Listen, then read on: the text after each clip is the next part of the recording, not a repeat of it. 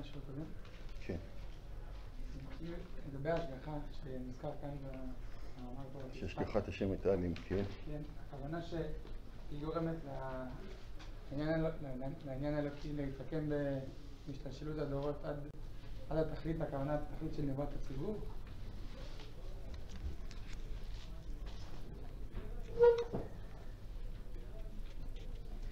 לא מה זה נותן התכלית של העניין הזה. התכלית של העניין הוא תכלית שיש לעניין האלוהי. התכלית של העניין האלוהי, אינני יודע אם זה נבואת הציבור, אולי זה הרבה מעבר לזה. זה תכלית שהוא יודע את עניינו. כל מקום, בת... במסגרת התכלית שהעניין האלוהי יודע את עניינה, אז אה, זה הולך ומרקם את מערכות המציאות, הולך ומפתח אותם, הולך ומתגלה בהם עד להופעת נבואת הציבור. ומכאן ואילך זה עוד ממשיך הלאה. השגחה לא, לא הגיעה אל תכליתה בנבואת הציבור, אלא היא פיתחה את מארג המציאות, דרגה אחר דרגה, סדירה אחר סדירה, עד שהגיעה למציאות המבוקשת, שדרכה מכאן ואילך כל המציאות תתנהל. ישראל באומות כשמע באיברים. בסדר? כן. אה, אני לא מספיק הבנתי את ההבדל בין, בין אה, מה שיש במאמר חמישי שהרב הביא לבין ההשגחה כאן. מה היה, מה נאמר במאמר חמישי, ש... ובמה זה דומה למה שנאמר כאן? ש... אם הבנתי נכון, במאמר חמישי, שדרך המעשים הטבעיים, הבכיריים, האלוקיים, אז אה, אה, דרך הכל העניין האלוהי בסופו של דבר מגיע לתכליתו. כן. זה אני מדייק? זה בסדר. לא לגמרי מדייק, אבל אתה בסדר. וכאן, וכאן גם חלות העניין אלוהי וריקום מערכת המאורעות בהתאם לתכלית של עניין נאור. אה, כאן, טוב, כאן אז כל המאורעות שקורים, הם קורים בהתאם לתכלית של העניין ההוא, או שגם העניין ההוא, דרך כל המאורעות, מצליח להגיע לתכליתו. לא. אתה לא מבין שבמאמר חמישי לא נכנס למאורעות פרטיים, אלא מדבר, הוא מסווג את סוגי המופעים בעולם. יש כל מיני סוגים. יש סוגים, יש ארבע סוגים. סוג מקרי, סוג הכרחי, סוג אלוהי, סוג בכירי. ארבע סוגים. הוא אומר שכל הסוגים, דרך כל סוגי ההתרחשויות, הכל שב אל ההשגחה, אל הגזירה האלוהית, אל ההשגחה האלוהית, בדרכים שונות. הוא רק בא להגיד לך שההשגחה האלוהית עושה את דרכה דרך כל סוג של מאורע. אבל פה אצלנו הוא לא בא ללמד אותך על סוגי מאורעות, אלא על מה הוא בא ללמד אותך? שכל המאורעות שקורות הן בסוף מתאימות לתכלית של העניין. לא כל כך. לא צריך להגיד ככה. יש פה תיאור מיוחד על ההשגחה האלוקית, כמו שהיא חוללה את המציאות והתרכזה בראש ובראשונה באדם הראשון, עשתה אותו שלם בתכלית השלמות, ואחר כך תכונה אלוהית עברה ממנו אל בני האלוהים שהיו שלמים בחמשת המדרגות כמוהו, ואחר כך זה המשיך הלאה מעשרה דורות ועד אברהם, יצחק ויעקב, ועד בני יעקב שבהם הופיע קהל, ואז אה, חל העניין האלוהי לראשונה בקהל, עד אשר עד כה הוא התרחש, הוא, הוא, הוא, הוא הופיע בפרטים. והשגחה האלוהית אה, מכאן ואילך עושה דרכה בקהל, אה, שהיא מרבה, מרבה אותם וישמרם, ויפרם, וירבם, ויגדלם במצרים, ואשר יגדל העניין אשר שור טוב, עד אשר הוציא פרי שלם דומה לפרי הראשון אשר ניתן. נראה לך דומה למה שסיפרת על אה, ארבעת סוגי המאורעות. לא מדובר פה על סוגי מאורעות, אין פה כניסה לעניין, אין פה בכלל דיבור על נושא. יש פה דיבור, וגם זה לא נאמר פה, שהקדוש ברוך הוא משגיח זה לא כתוב. מסביר מהו האופי שבו העניין האלוהי מתגלה. אה, הבנתי שזה לא קשור, אני עדיין לא מספיק הבנתי, אם הרב יכול לחזור, מה זה השגחה כאן אצלנו? השגחה זה העניין האלוהי שהוא חל באופן תכליתי, הולך ומוציא מן הכוח אל הפועל את תכליתו באמצעות אה, האדם שמופיע בו צלם האלוהי והשלמות הסגולית הזאת הולכת ומתבררת עד שמגיעה לחול העניין האלוהי על הקהל, מכאן ואילך הוא שומר אותם, מפרם, מרבם, מקדם אותם לתכליתו. למה דווקא צריך להזכיר את, את היחידים, פשוט מה שהרב אמר, העניין שהוא חל באופן תכליתי, הולך ומוציא מן הכוח אל הפועל לתכליתו. כאילו, תמיד, לאו דווקא, כאילו, יש לך הצעה, הצעה לשיפור של אה, לא, ספר אם יש- הכוזרי, אבל הוא פשוט לא, לא קונה את ההצעות שלך, ויש לו את הדעות משלו, איך, לא, מה הוא רוצה לכתוב. הוא גם חשש מן הסתם, שאם יכתוב כמו שאתה מציע, אז יימצא איזה מישהו שיגיע, רגע, למה לא כתבת ככה? לא, אני לא מציע, אני רוצה כן. להבין מה פספסתי דווקא בנקודות האלה. כאילו, יש לו איזה משהו שהוא רוצה דווקא להדגיש את היחידים, נכון, הוא רוצה להדגיש, שתשים לב איך התגלתה ההשגחה האלוקית בהיסטוריה, נכון? זה בדיוק העניין. שים לב שהכל הולך ומתרכז לעם ישראל. זה בדיוק מה שהוא רצה להגיד. את הרעיון שלך הוא רעיון חשוב מאוד, לא רוצה להגיד אותו. יש לו מטרות אחרות בכתיבת ספרו ומאמר ראשון מאשר מה שאתה מעלה על דעתך. כן. אה,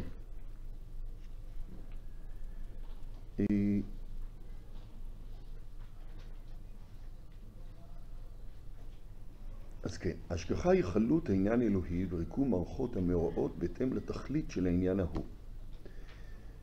וישמרם, ויפרם, וירבם, ויגדלם, השגחה, השגחת השם הייתה עליהם, וישמרם, ויפרם, וירבם, ויגדלם במצרים, כאשר יגודל האילן, אשר שורשו טוב, עד אשר יוציא פרי שלם דומה לפרי הראשון, אשר נקטע ממנו. אז מי זה השורש של האילן פה? אברהם יצחק ויעקב, נכון. ומי הוא הפרי? נכון. כן נקמן במאמר שני, סימן נ', וראה איך נעשה העניין האלוהי שדבק באברהם ואחריו בקהל בני סגולתו ובארץ הקדושה להעלאת הדבר מדרגה אחר מדרגה, שמר על זרעם לבל יידח מהם נידח, ושם אותם בבטוח שבמקומות ובטוב ובפורה שבהם, וחירבה אותם ריבוי מופלא עד אשר העבירם בין טעם באדמה הראויה לסגולה. שם הוא חוזר על הדברים שאומר פה, וזה נקרא השגחה, איך העניין אלוהי דבק באברהם, ואחריו בני סגולתו, איך הוא שומר עליהם, מעלה אותם, מדרגה אחר מדרגה, שומר את זרעם, לבל ילך ממנו יידח, שם אותם במקום הבטוח והפורה שבמקומות, והרבה אותם ריבוי מופלא עד אשר, זה שם אותם בטוב ובפורה שבמקומות, הכוונה בגושן, עד אשר, אחרי שהוא, זה, זה מה שנקרא חממה, ששם אה, נזרעו הזרעים וגודלו הנטעים, ואז כשצמחו הנטעים, העתיק אותם ושתל אותם ב- באדמה ראויה לסגולה. ההשגחה שומרת, מפרה, מרבה ומגדלת, מעלה מדרגה אחר מדרגה לתכלית התגלותה בסגולתה הנבואית. רצוני לומר, אברהם, יצחק ויעקב הם אה, כנראה, ויוסף ואחיו, זה, זה השורשים, אתם רואים? האבות והשבטים, יוסף ואחיו. לא אומר שתי מצא שבטים, כי הוא עוקב אחרי כמו משה רבנו, אה, בכור שורו הדר לו, וכנראה מקרניו. יוסף אה, נזיר אחיו, קודקוד נזיר אחיו. אה, הוא, אה, יש בו תכונת תיווך שבין האבות לשבטים. כי ראובן, אפרים ומנשה, כי ראובן ושמעון יהיו לי. זאת אומרת, אפרים ומנשה הם הנכדים של יעקב, אבל יש להם דין של שבטים. אז, אבל האבא של השבטים הוא שבט, אבא של השבטים הוא האבות, ויוסף הוא מין תיווך שבין האבות לשבטים. הוא, להגיד שהוא אב, אבל הוא אב. הוא אב של אפרים, הוא אב של שני שבטים. אז לכן זה ככה מתואר. כי הכל פה מתואר בדרך המורשתית, איך העניין האלוהי הולך ומופיע. מן האבות אל הבנים, יוסף ואחיו. כל זה זה השורשים. והפרי, משה ואהרון ומרים, ובאנשים כבצלאל ואוליאב, וראשי המטות ושבעים הזקנים, אשר היו ראויים לנבואה זמן ממושך, וכי יהושע וכלב וכו' ורבים זולתם. ואז היו ראויים להיראות האור עליהם. האור, מה זה אור? האור, כלומר האיכות הנשמתית הפנימית של הנבואתיות שמרקמת את אופיים הקולקטיבי. זו הגדרת המושג אור. עוד פעם, האיכות הנשמתית הפנימית של הנבואתיות, לא של הנבואה, אלא של תכונה נפשית של הנבואה, שמרקמת, שמרקמת את אופיים הציבורי, קולקטיבי. כן לחמן במאמר רביעי, אז כותב אה, רבנו. כבר העמיד ההמון אצל הר סיני לראות את האור אשר ראה הוא הוא. ובמאמר שלישי הוא כותב, העניין האלוהי התחבר בעדה המוכנת לקבלו, כי ידבק האור במראה הזכה. במאמר רביעי תבוא הסברה רחבה בשימוש במושג האור כמטאפורה לתוכן אותו רואים בעלי ראיית הלב הנבואית. אלה בעלי הראייה הנבואית, היא אותה ראייה שאחריה אין צורך כזכור לא בראייה ולא במופת, שהוא התוכן האלוהי של שם הוויה אלוהי ישראל. בעלי הראייה, שבאמת הם רק העם המיוחד הזה שיש לו את הראייה הזאת, אז הם רואים את התוכן האלוהי של שם הוויה. שראייה הזאת זה לא, כמובן, זה לא ראיית העין, אלא ראיית הלב, הראייה הנבואית. ובעלי הראייה הנבואית הם רואים את האור, שהוא בעצמו שם הוויה, הנאצל בשפעו בחיות האלוהית הנבואית המופלאה, השוכנת וחודרת ומאירה לא רק את סגולות הסגולה, אלא אף בנפשות המון הציבור הישראלי. ואז היו ראויים להיראות האור עליהם. האור, אותה שפעה ששפע העניין האלוהי המתחבר בעדה המוכנת לקבלו, כי דבק האור במראה הזכה. העניין האלוהי אה, מתחבר בעדה. כשהעניין האלוהי ביחסו אלינו כיחס הנפש ביחסה אל הלב. וזה נקרא אור. זאת אומרת, החיים האלוהים זה נקרא אור. החיים האלוהים זה החיים הנבואתיים. זה החיים ההווייתיים. אחר כך, על פי זה הוא יסביר שם מאמר רביעי מה זה שם הוויה. שם הוויה זה זה. הוא נאצל בשפעו בחיות האלוהית הנבואית המופלאה, השוכנת, חודרת, כי הייתה השכינה בישראל מבחינת רוח החיים בגוף האדם, שוכנת, חודרת, מאירה, לא רק את סגולות הסגולה, יחידי הסגולה, כמו שקורא להם רבנו במאמר שני, אלא אף בנפשות ההמון הציבור הישראלי. נגלתה האמת לנפשות ההמונים מעין גילוי נבואה. ויש להם את הראייה הזאת. והפעם הראשונה שהם היו ראויים להיראות האור עליהם, זה היה אז, מתי שהופיעו שם אהרון ומרים, אנשים כבצלאל ואליאב, שהמטות שבעים וזקנים שהיו ראויים לנבואה זמן ממושך, יהושע וכלב וכו' ורבים זולתיו, ואז היו ראויים לראות האור עליהם, מה שהוא תכף ימשיך את המשפט, יגיד כולם, אפילו לא יחידי הסגולה האלה.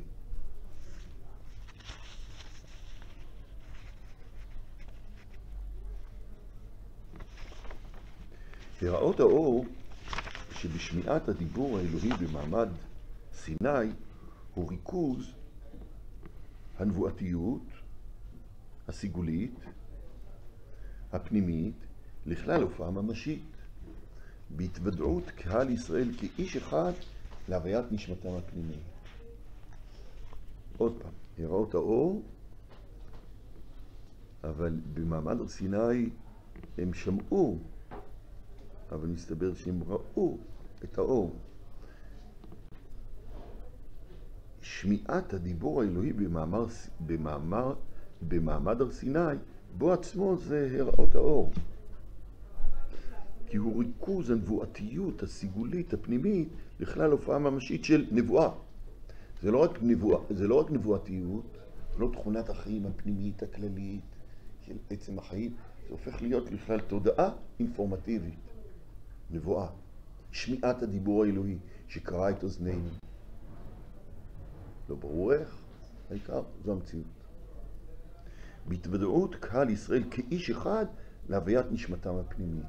יש להם את מימד הווייתי נשמתי פנימי, ויש שם איש אחד שהוא כל הקהל, והוא שומע את האור המתגלה עליהם. אנוכי השם אלוקיך. אז אז הם היו ראויים להיראות האור במעמד הר סיני, ולאותה השגחה האלוהית, כלומר לניהול מערכת חיים ההיסטורי בהתאמה אל היסוד התכליתי הזה. מכאן ואילך הם מתנהלים על פי התכלית הזאת. האור הוא פנימי, והשגחה היא האור כפי שהוא מעצב את המציאות החיצונית. אור והשגחה זה אותו דבר, רק זה כפי שהוא עצם החיים, וזה כפי שהוא משפיע במציאות החיצונית, מרבה אותם, שומר אותם, אה, מנהל את ההיסטוריה שלהם, בהתאם להשגחה. אז זה, לזה הם זכו, להיראות האור ולאותה השגחה אלוהית. אז מה ההבדל? זה ההבדל. זה פנימי, זה חיצוני, כן. האור הזה, זה, זה בגלל הדיבור האלוהי במעמד הר סיני, הם מתוודעים לתודעה של הוויית נשמתם הפנימית? או, מה האפשרות אחרת? זה אני שואל. אז אתה אומר, יש רק אפשרות אחת. של המילה אור? אני לא יודע מה אתה שואל. אתה אומר, האם זה זה? לא, אם לא, אז מה? תן לי שני אפשרויות. אם אתה מתלבט, אתה אומר, יש אפשרות אחת. כמו שאני שואל, האם אתה מדבר איתי עכשיו? או אתה מדבר איתי עכשיו. אני לא יודע איך לענות על שאלה כזאת. אני שואל אם אמרת... תסביר לי. אני חושב שזה לא נכון. זה את זה, כן. כי אני לא חושב שצריך, אני לא בטוח בכלל שצריך להסביר שהוא דיבר, אבל שהוא דיבר, אז הם ראו את האור. קיבלו תודעה. סליחה? קיבלו תודעה. אני מנסה אולי להגיד, הייתי, הייתי מצפה שתגיד אפשרות אחרת והייתי מעדיף אותה, אולי, שהדיבור שלו זה האור. לא שני דברים. מה שניסיתי חשבתי שהבנתם שזה רואים את הקולות ושומעים את הנראה. והראייה הזאת זה לא ראייה בעיניים, זו ראייה נבואית. המשמיעה הזאת זה לא שמ... דווקא כן שמיעה באוזניים, ומכל מקום אני רוצה להגיד לכם שזה גם כן שמיעה נבואית, שהיא ממלאת את כל הממדים כולם, גם האוזניים. אבל זה לא, החוויה של הנבואה זה לא כמו החוויה שיש לך עכשיו, שאתה שומע אותי. ונבואה זה לא אתה שומע אותי, אתה שומע את הקדוש ברוך הוא. אבל אותו דבר. תקווה, אני מדבר, אתה, אתה מבין, זה לא שהוא מדבר, אתה גם מבין. זה לא. למרות שבשני המקרים אתה שומע באוזניים, נכון, ומכל מקום זה אחרת לחלוטין בהמשך, אתה כבר יודע לפי מה שוודאי קראת בהמשך, הוא תכף יסביר בסעיפים הבאים, שהנפגש עם הנביא, מתחדש לו רוחניות, הוא בעצמו חצי נביא באותו רגע. זה לא, זה לא רק עניין אינפורמטיבי שאתה פותח את הרדיו, שומע בן אדם או שומע נביא, זה לא ככה. כל שכן אם אתה שומע מה זה ברוך בעצמו, אז מבין, חז"ל אומרים, יצאה נשמתה. אז לא להבין את הדיבור האלוהי כדיבור אנושי, אלא זה לכל היותר כולל את האיכויות של הדיבור האנושי. אבל מתי זה? זה אור, זה בעצמו האור. זה האור זה מה שנשמע, זה החיים שלהם, זה השפעה, זה הנבואתיות, זה הנבואה, הכל, זה השגחה, הכל דבר אחד. הנה, אז מה ההבדל? זכו לראות האור ולאותה השגחה? זה פנימי, זה חיצוני. ובעצם, אצל מעמד הר סיני, שם הם מתוודעים אל האור הזה. כן. ועל אף שהיו ביניהם ממרים, מאוסים ונגעלים, מורחקים, מה זה נגעלים? נגעלים זה מורחקים, כמו וגעלה נפשי אתכם. ובאונקולוס, וירחק ממרי יתחום. וברש"י, זה סילוק שכינה. אבל השכינה הייתה בישראל מבחינת מורחים בגוף האדם. ואותה נותנת לזי ואור בגופם ונפשם ומעונותיהם. וכאשר רחקה מהם, אז הם נגעלו. לא תגעל נפשי אתכם. אה, זאת אומרת שלא מופיע בהם האור. ומכל מקום, אף שהיו ביניהם ממרים, מאוסים ונגעלים, מורחקים, וגעלה נפשי אתכם, וירחק ממרי יתחון, זה סילוק שכינה, בכל זאת הם בלי ספק סגולה. מאחר שהם בתולדתם ומזג טבעם מן הסגולה, ויולידו מישהו סגולה. והשגחה השומרת נזהרת באב הממרא, כי נשמרת בו הסגולה אשר תראה בבנו או בבן בנו, לפי מה שתזדכך הטיפה. הנה פה, טוב, אנחנו כבר דשנו, דשנו, אה, דיברנו על, ה, על, על השירות האלה, שפה הולך ומתברר שמה שעד עתה הוא הוצהר ולכאורה לא ידענו, כי אנחנו לא, אף פעם לא שמענו מהמורים שלנו למחשבת ישראל מה זה הכוזרי, אז אנחנו רק קוראים בקריאה של עיניים בלתי משוחדות את מה שכתוב. אז בכלל לא ידענו ש, שהסגולה זה תכונה נפשית, ועכשיו לפתע זה מתגלה. טוב, אנחנו, אנחנו עכשיו שיודעים שזה מתגלה, אז אנחנו כמובן מבינים את הכל רטרואקטיבי, שלא לדבר על זה שכבר נרמז חזק מאוד לפני כן. אם היינו מספיק פיקחים, אז היינו כבר יודעים את זה לפני כן. ומכל מקום, עובדה שכך הוא מנסח את זה, כי הפרי זה משה, אהרון ומרים ו... וכל הנביאים בפועל, לא ב... בסגולת ישראל. אין הפירוש של מילה סגולה זה לא סגולת ישראל של החסידות, כמו שדיברנו. זה גם לא הסגולה של הרב קוק, אלא זה הנבואה הפלאית, המציאות היקרה, האוצר הטוב האלוהי. האוצר הטוב האלוהי הוא לא פוטנציאלי, כי בכלל אין בחשיבה הגבוהה מקום אה, לתת את מושג הפוטנציה במציאות האלוקית. כי אם זה אלוקי, זה לא פוטנציאלי. כי כל פוטנציה, משהו מעכב אותה מלהיות בפועל. אבל להגדרה, אם משהו מעכב את אלוהים, סימן שהוא לא אלוהים. זאת אומרת, אם, אם מצליחים לעכב את אלוהים, אז אלוהים הוא לא אלוהים. אלוהים מעוכב הוא לא אלוהים.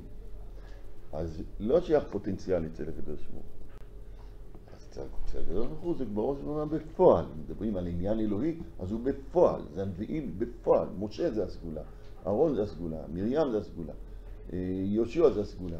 כל הנביאים זה הסגולה. כל עם ישראל הם נביאים. הם כולם סגולה. בפועל. ובאמת, גם אלה שהם לא סגולה, הם גם סגולה.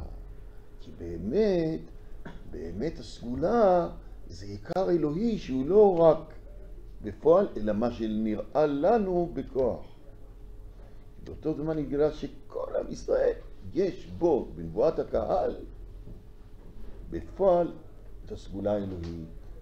זוהי הנבואתיות, ששם התגלתה כנבואת הקהל, ואף על פי ששם היו ממרים ונגאלים. מכל מקום סגולה. אתם מבינים? זה כמו, אנחנו מתירים להתפלל עם עבריינים, לא רק מתירים להתפלל עם עבריינים.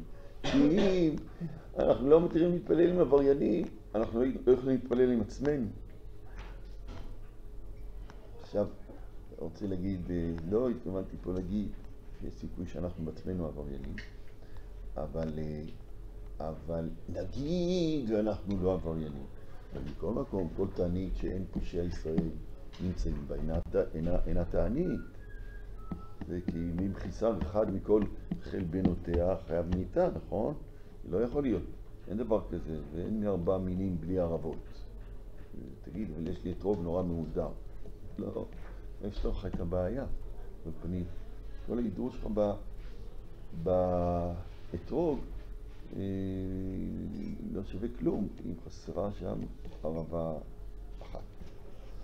אז יוצא שבקונטקסט הזה של הכללות, אני אגיד בצורה גסה, אין פרטות. ובמסגרת זאת נעלם הערך הן של הצדיק והן של הרשע. והוא עובר לפאזה אחרת, פאזה של הציבור. ובנבואת הציבור, נבואת הקהל, העניין האלוהי מופיע עליהם ושורה עליהם ומופיע בהם האור, האור והם סגולה. אבל יש בהם נגעלים. ממה הם נגעלים? מן השכינה, מן האור, מן הסגולה. לא, לא, לא. לא. כי הם כנראה לא נגאלים מן האור, אבל הם כן נגאלים. יש, הם נגאלים מן האור, הם נגאלים מן השכינה, נדחים מן השכינה. וירחק ממריאתכם, סילוק שכינה. אז הם נגאלים מצד פרטיותם, אבל מצד כלליותם הם מוארים. הם מוארים ומושגחים, והשכינה עליהם והאור עליהם. ואם תגיד, נו, אבל הם נגאלים, כן, אבל עצם פה המבט האלוהי הוא לא מבט, אני אגיד בצורה גסה, לא מבט אקטואלי, אלא הוא מבט מגמתי. יצאו מהם צדיקים. אם יצאו מהם צדיקים, אז מה מעכב את הצדיקים? מן הסתם הזמן, נכון? כי עדיין לא נולדו הנכדים. אבל מושג זמן שלא התרחש זה מושג אנושי, אבל מושג אלוהי אין זמן שלא התרחש. כי זמן זה משהו מעכב על דבר שיוכל לצאת אל הפועל. אבל אין מושגי עיכוב כלפי שמיא. אז מה שהתרחש, הוא כבר התרחש. כאשר השמיים החדשים והארץ החדשה אשר אני עושה, עומדים לפניי נאום השם. לא יעמדו לפניי, הם חדשים, לנו זה לא חדש. מצד הקדוש ברוך הוא, אין חדש.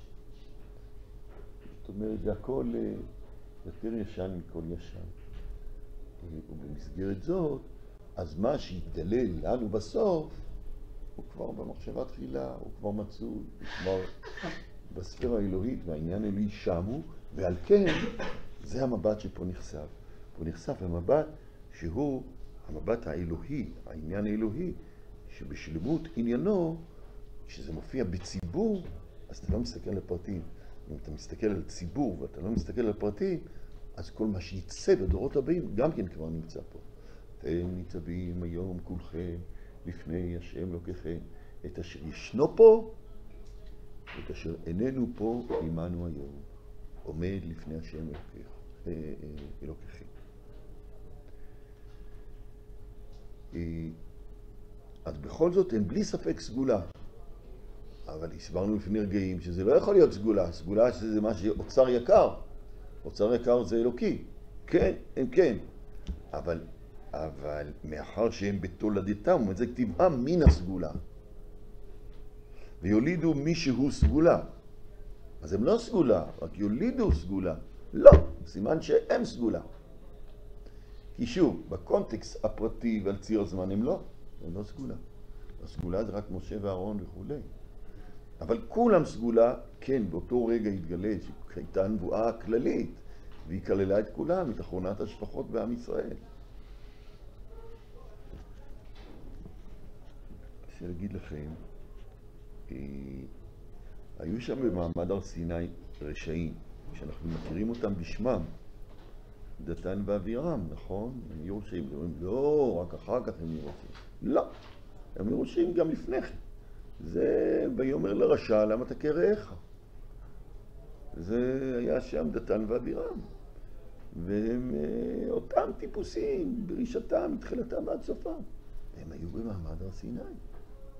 תגיד קורח היה צדיק, רק אחר כך הסתבך. ענו, אבל אה, ואבירה בני ראובן, הם לא. אז, אז בכלל זה פלא, איך הם התנבאו? אני אומר שאם הם לא היו חלילה, אנחנו, כל עם ישראל היה מקבל נבואה.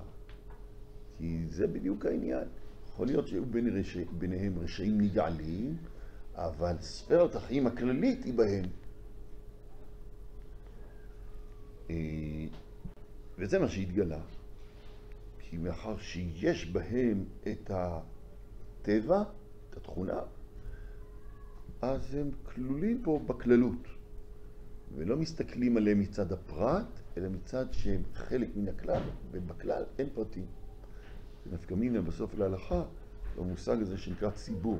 ציבור זה לא קיבוץ של אנשים, זה לא המון פרטים ביחד, זה נקרא שותפים, זה לא נקרא ציבור. אבל ציבור, זה כמו שאמרתי בדוגמה, זה לא... אה, זה בסיכומו של דבר, כשאתה מקטיר את הקטורת, אתה, לא, אתה לא לוקח אה, חתיכה, חתיכת חלבן, חתיכת לבונה, חתיכת... זה לא. אלא דק היטב, דק היטב, ושוחק, שוחק, שוחק, עד שאתה לא יודע בכלל אה, מי ומי ההולכים. בפנים יש שם את כל החומרים, ובפועל קטורת. תיקון תפילתי קטורת לפניך. זה, ה... זה המציאות השלמה. כן.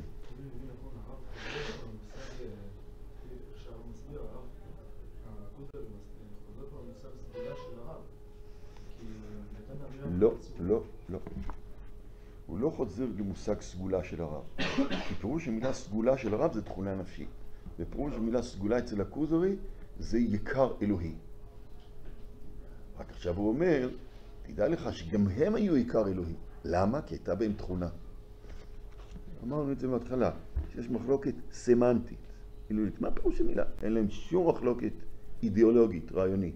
רק הדיוק של איך שאנחנו רגילים להשתמש במילה סגולה, זה לא פירוש המילה סגולה של הראשונים ושל הכוזרי ביניהם. אבל רעיונית, הוא האבא של, של הרב קוק. הרב קוק לא היה מעז להגיד שום דבר נגד הכוזר. מצד מה הם אה, הרשעים הם סגולה? מצד תכונתם. אבל עוד פעם, אנחנו לא נמצאים פה עכשיו ב, בשיעור רעיוני. ברגע זה אנחנו לומדים עברית, אתה מבין? מה פירוש המילה סגולה בעברית. בזה יש מחלוקת בין הכוזרי לבין חסידות, לבין הרב קוק. משתמשים במילה במשמעות שונה. את מה שהכוזרי מבדל בין פירוש המילה סגולה, שפירושה יקר אלוהי, אוצר טוב, דבר מופלא, אה, חשיבותו, נפלאותו. אה, אצל האחרונים, פירוש המילה סגולה, זה תכונה נפשית, או תכונה סגולת כל דבר, סגולת השולחן שהוא קשיח. סגולה, תכונה.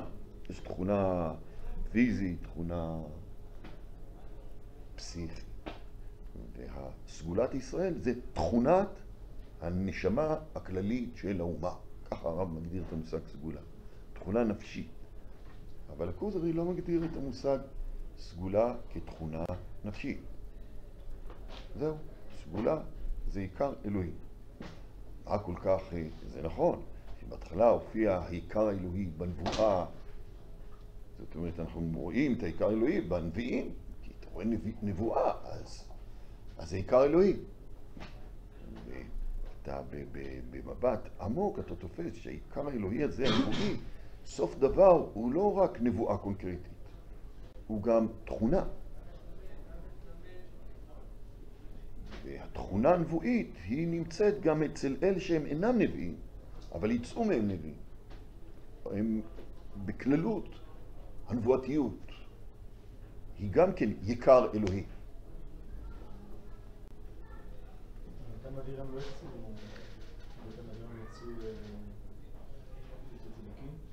אם יצאו מהם, אם היו להם ילדים צדיקים, באמת קושייה, אה, לא ידוע לי.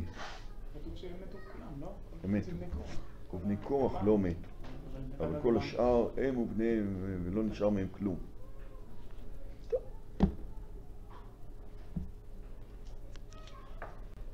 קושייה.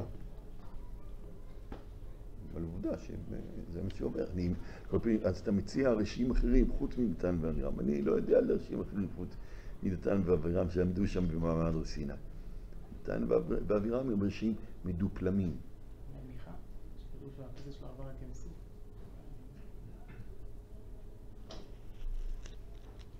אה, אולי, סליחה? ארבע חמישיות של יצאו אז הם לא עמדו בהר סיני. דובר על אלה שהתנבאו בהר סיני, כולם. והאור הפנימי חל עליהם, ואף על פי שהיו ביניהם ממרים מנוסים ונגאלים. לא כל בני יעקב. סליחה? לא כל בני יעקב. מה זה לא כל בני? לא, אז הופיע. כל בני יעקב הם ודאי סגולה. אה, ואז הופיע האור האלוהי על קהל. ונבואת הקהל מופיעה במילואה במעמד הר סיני. זה מה שכתוב. וכל הנביאים הם סגולה, ופה מסתבר שגם אלה שהם רשעים הם גם סגולה. ותכף יגיד, אה, פה נקרא, תכף יגיד שתרח היה מהסגולה. בסדר, אתם מעלים פה קושייה, אם כל מה שעושה אותם סגולה, שיצא מהם סגולה, אז אה, נו, היו בין כמה אנשים שלא יצא מהם סגולה, אז אולי הם לא סגולה. אז איך הם התנבאו? טוב, או שזו קושייה, או שאפשר לתרץ אותה. לא פנים, אני אישית לא מרגיש שזו קושייה קשה. בסדר, שם לפנינו. יכול להיות גם ככה, ויכול להיות שמה שהוא אומר פה הוא רק מוכיח שלא מה שאתה רואה בעיניים זה הכל. זה הנקודה. זה לא, זה לא, זה לא הטסט קייסט. זאת אומרת, איך אני אדע אם הוא סגולה? אם יצא לו סגולה, זו סגולה. לא. והיה והוא בכללות, הוא מהסגולה. תראה, זה שאתה לא תמיד רואה את מה שאתה, שאתה לא רואה את האפקטיביות של הסגולה, תראה, יש דברים כאלה. לפעמים זה לא מתגלה, בוא מתגלה בנפש. זה מה שהוא בא להגיד. זה לא בא להגיד שזה תנאי אה, אה, הכרחי, זה רק תנאי אה, מספיק. זאת אומרת, עצם זה שזה יכול להיות, זה רק לענייננו פה, זה בא להגיד, יכולה להיות סגולתיות גם באלה שאתה לא רואה, לא רואה אותם. ואל תתפלא, כי אתה רואה שיש עוד דברים נעלמים ויוצאים בדורות הבאים. ואלה שלא יצא בדורות הבאים, לא אומר שלא הייתה בהם סגולה. עד כאן אפשרות של תירוץ. אם זה לא תירוץ טוב, אז בסדר, אז לא נמנעו שארי תירוצים אחרים שאני לא יודע אותם, ואם יסתבר שאין תירוץ, גם כן לא מטריד אותי יותר. בסדר, בכל כלל יש יוצאים לזה. כן, נתניה. בהמשך של ה- של הדברים, אז אייל אומר, ונשמע רעב אה, הממרר בגלל זה, כאילו. כן, כן השאלה היא. זה השגחה שומרת ונזהרת באב הממרא, כי נשמרת בו הסגולה שתראה בו בבנו, רן מאור כפי מה שתזדכך טיפה. כן, אז מה אתה מוכיח? כל הסיבה שאני שומר את האף של ממרא, בגלל זה שיש לו טיפה של סגולה שהולכת אה, להיראות בבנו או ב... טוב, ההדגשה הנרגשת שלך עם תוספת המילה כל, כנראה לא מקובלת. תקרא איך שזה כתוב בלי התרגשות. ותישאר באווירה של מה שאני מציע. ש... תראה, זה שההשגחה מטפלת בטיפוס כמו תרח, אז זה בגלל שלא בהכרח מה שמתגלה בעכשיו זה כל מה שיש. יכול להיות שיש עוד דברים. כן. אז בכל זאת, הם בלי ספק סגולה, מאחר שהם בתולדתם ומזג טבעם מסגולה, ויולידו מישהו מסגולה, והשגחה שומרת נזהרת באב, באב הממרא, כי נשמרת בו הסגולה אשר תראה בו בבנו, או בן בנו, כפי מה שתזדכך הטיפה. זה יכול להיות, אל תתפלא, מה, מה, מה, מה העניין לשמור? שהולכת המציאות ומודרגת ממעלה למעלה. והצפייה הפנימית של כל מדרגות המציאות היא מזדככות. ועל כן, במהלך התגלות, התעלות, התבררות, יהיה זיכוך של כוח החיים הפנימי, הטיפה. זו הגדרת המושג טיפה. מה זה טיפה? טיפה זה כוח החיים הפנימי. ככה רבנו משתמש במילה הזאת כאילו מובן מאליו, שכולנו מבינים. אבל לא מסביר לא לפני ולא אחרי מה זה טיפה, אבל באמת טיפת החיים. כמו שאמרנו, בתרח וזולתו, מי שלא נדבק בו העניין האלוהי, אך בשורש, בטבע תולדתו, שיוליד סגולה. ומה שלא היה כן בטבע, כל הנולד מחם ביפת. מה שלא היה כן בטבע, כל הנולד מחם ביפת. ונראה כזה בעניינים הטבעיים. כי כמה יש מבני אדם שאינם דומים לאביהם כלל, ודומים לאבי אביהם. ואין ספק כי הטבע ההוא והדמיון ההוא היה צפון באב, ואף על פי שאינו גלוי במוחש, כשם שטבע עבר היה צפון בבניו עד שנגלה באברהם. אז היו הרבה בנים מעבר, עד שבסוף נתגלה אברהם העברי. זה יוצא שכולם הם כמו תרח, הם יותר דומים לתרח מאשר דומים לאברהם. מכל מקום, הם, כולם, הם כולם סגולה, אלה הם נקראים הסגולה.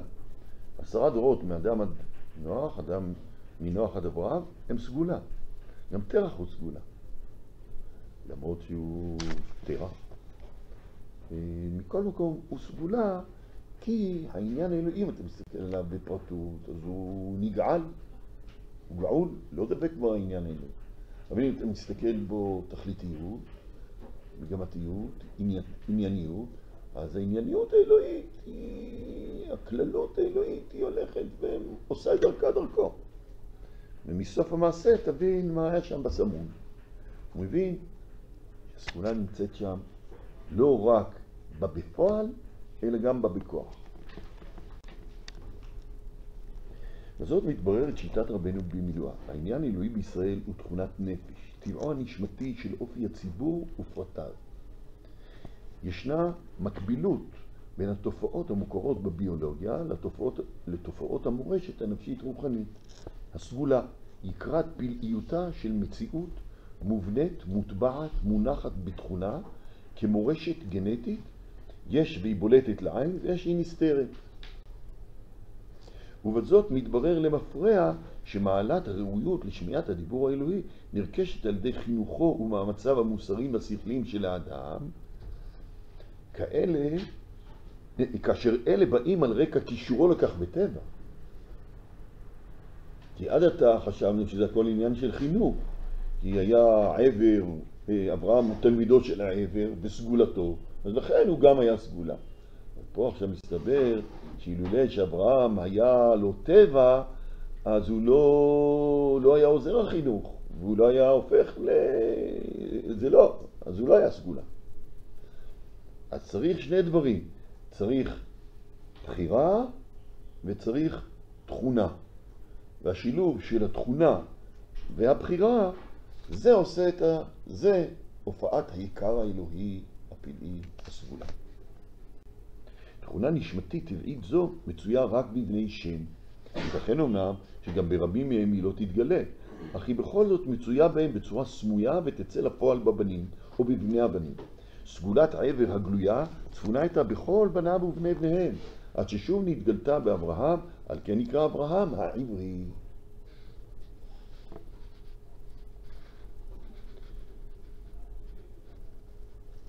אה, אז מה יוצא? למה נקרא אברהם העברי? אולי בגלל שלוש סיבות.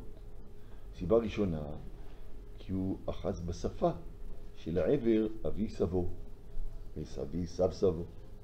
סיבה שנייה, כי הוא היה סגולת העבר ותלמידו. סיבה שלישית, כי התכונה העברית עברה מעבר אליו. על כן, משהו עברי נמצא בעצם אה, הווייתו הממשית של אברהם. וכל הסיבות האלה כולן הן סיבות טובות לקרוא לו עברי. כל פנים, בכל המקרים זה הקשר אל העבר, או לשונית, או לימודית, או תכונתית.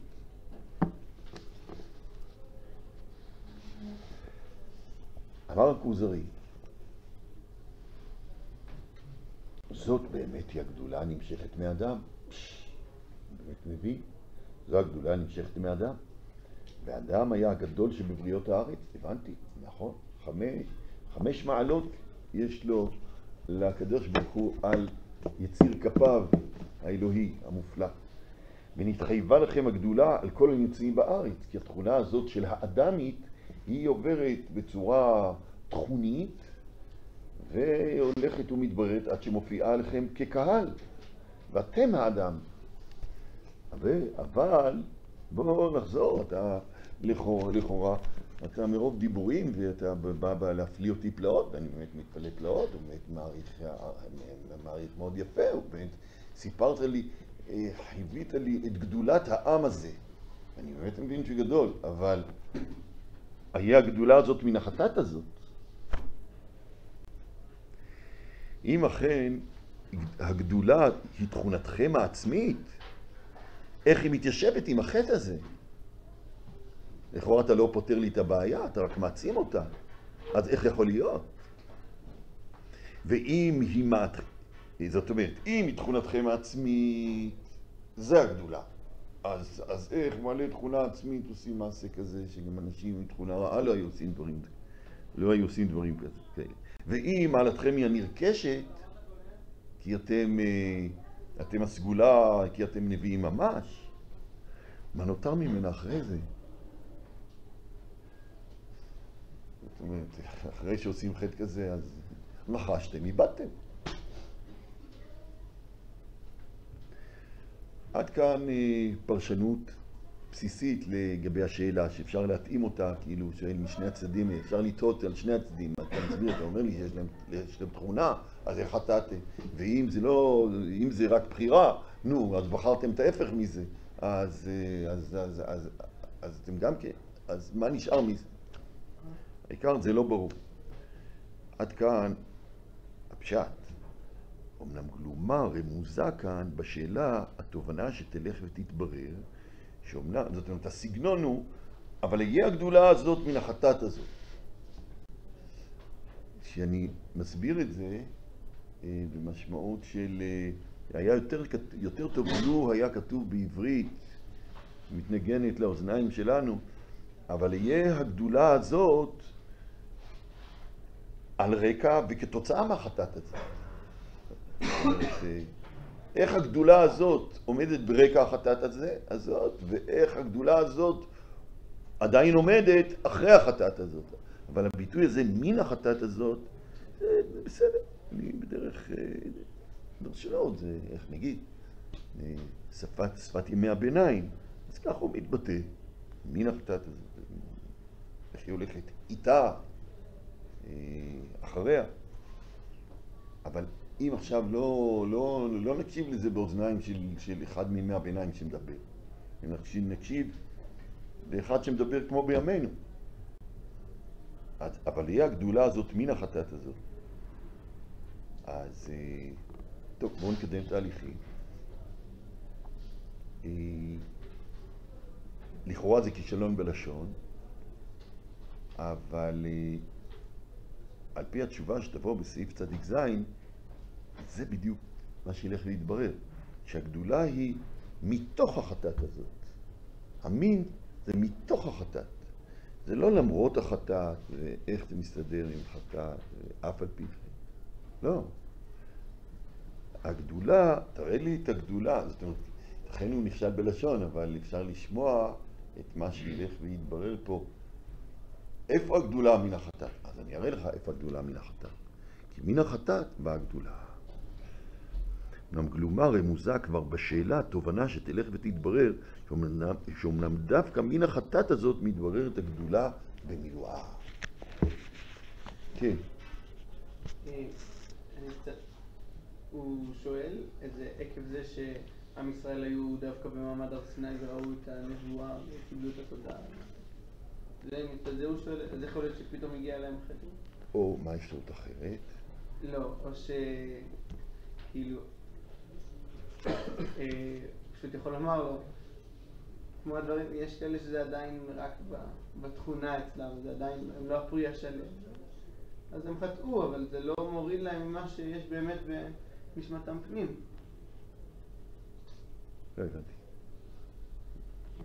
נלך על החלק הראשון, האם הוא שואל את זה עקב זה שהם היו במעמד הר סיני, קיבלו את אותו אור? ואני שואל למה אתה שואל את השאלה שלך.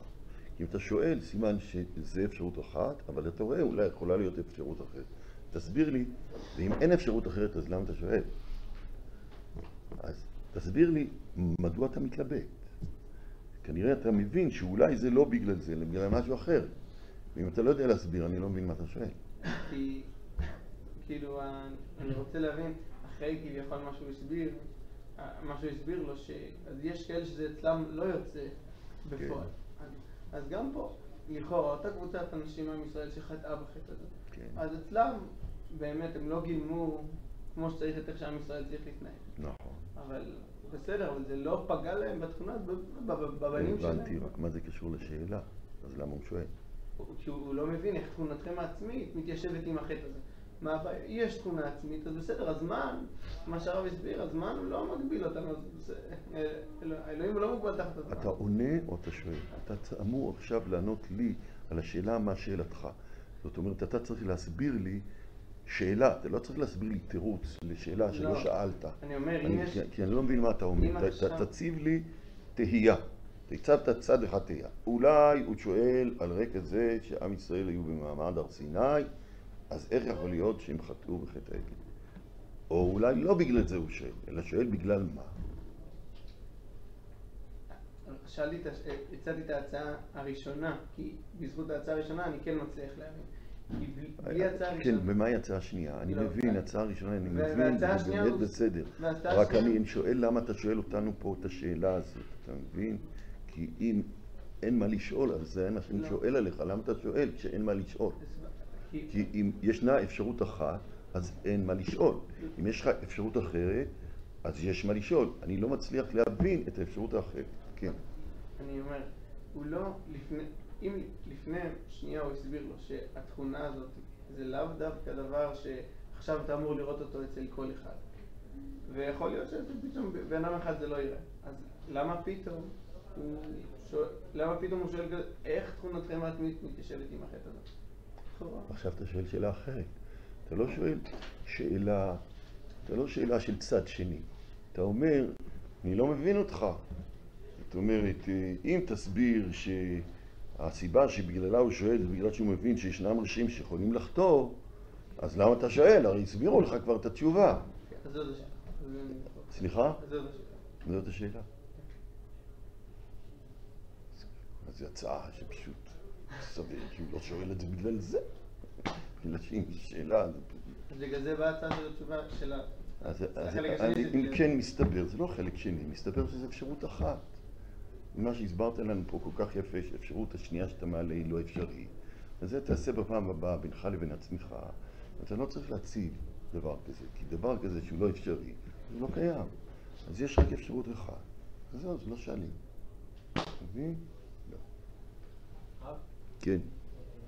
הרב אה, שילת כותב עם החטא הזה, אפשר גם להסביר את מה שהרב אמר אה, על בלי החטא, אה, מן החטא הזה? לא הבנתי. עוד פעם? הרב, יצחק כותב עם החטא הזה, הוא לא כותב היה גדולה, אה בסדר, אני בכוונה השארתי את התרגום של אבן תיבון כי הוא עושה את ההברקה הזאת, רק על בסיסו אפשר לעשות את ההברקה הזאת של מה שאני רוצה להגיד, נכון, ועל ידי התרגום של הרבי יצחק שבת, אז אה, ההברקה הזאת ירדה. הנה, זה עוד, עוד סיבה הרי תמיד, אם אפשר להסביר, לה- להשאיר את התרגום של הראשון, הוא יותר חכם מהאחרונים. עם כל היראת שמיים שיש לי בפני התלמיד החכם הגדול הזה, הרב יצחק שילת, מכל מקום, אבן תיבון יותר גדול ממנו. ולא כל שכן, שאם אני יכול למצוא עוד... בנוסף, בנוסף לזה עוד יש טעם לשבח. אז לכן אני מעדיף את התרגום, פה מעדיף את התרגום של אבן תיבון. וישנם מצבים שבאמת אה, כל כך זר לנו התרגום של אבן תיבון, על אף שהוא משובח, אבל מכל מקום הוא מרחיק אותנו מהבנה, אז המתרגמים שיותר קרובים לשפתנו עדיפים. אה, טוב, מה אני אגיד לכם? אה, מציע שנעצור פה, כי עכשיו אנחנו נכנסים לסוגיה הגדולה של סימן צדיק ז', ובסדר, בסוף זה מפה. נשאיר את זה כחטיבה שלמה לפעם הבאה.